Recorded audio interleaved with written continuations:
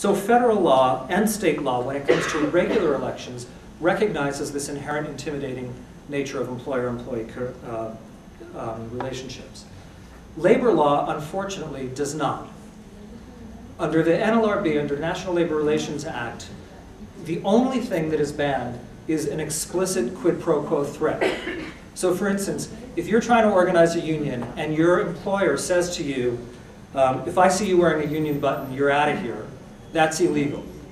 But if they say, those people wearing union buttons are slime and the enemy within, and a union might hamper the employee's personal relations with the company, and you need to remember that your job might be affected by having a union and that your family is dependent on your paycheck.